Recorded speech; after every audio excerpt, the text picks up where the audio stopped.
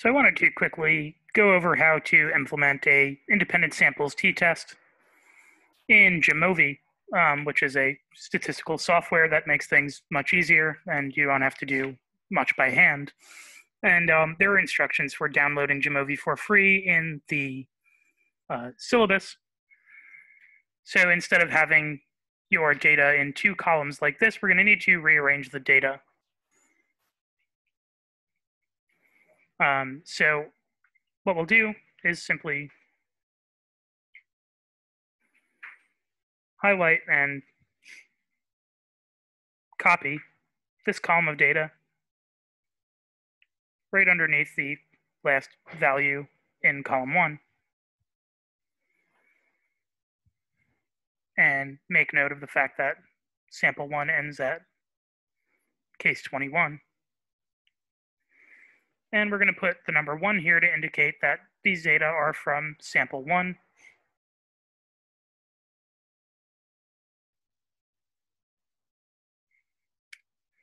And these data on to the end are from sample two.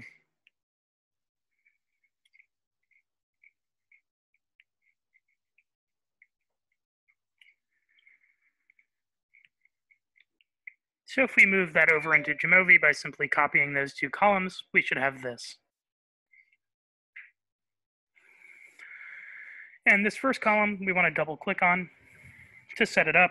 And this is a continuous variable.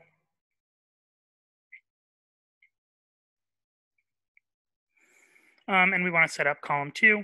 And this is a nominal variable because the number here only indicates group membership. Group one let's call group one. And group two, or number two, we'll call group two. So those are our two samples. So now to run that t-test that we just did by hand, we simply click on, well, let's just relabel this one as dependent variable.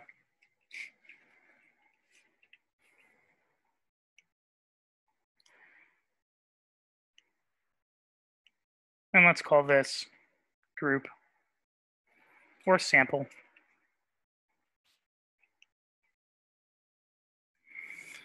So we go to t-tests and we click on independent samples t-test.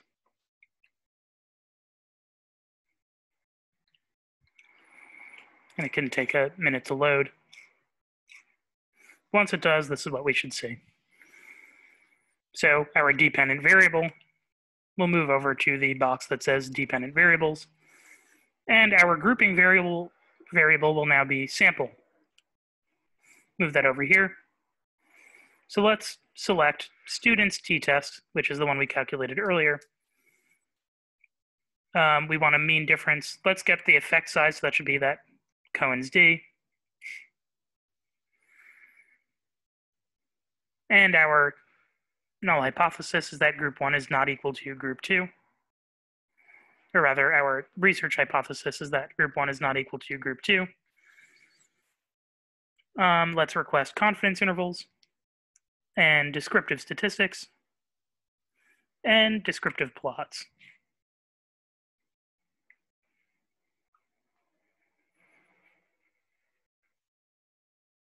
So this gives you everything that you just calculated very quickly we get our t statistic, negative 0.34, the degrees of freedom, which is 48, and our p-value of 0.7, which we determined earlier was not significant.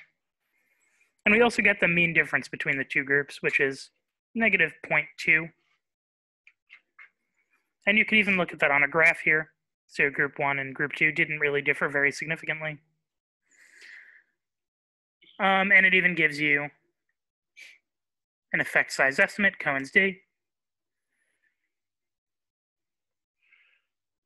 And that's how easy it is to implement a independent samples t-test in Jamovi as compared to doing it by hand in Excel. Notice that these values might be slightly different than what you calculated by hand because of rounding.